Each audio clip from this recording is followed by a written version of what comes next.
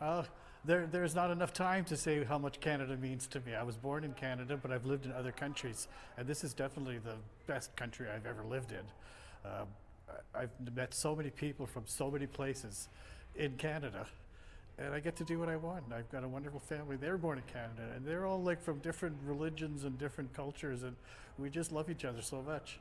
That's what Canada means to me.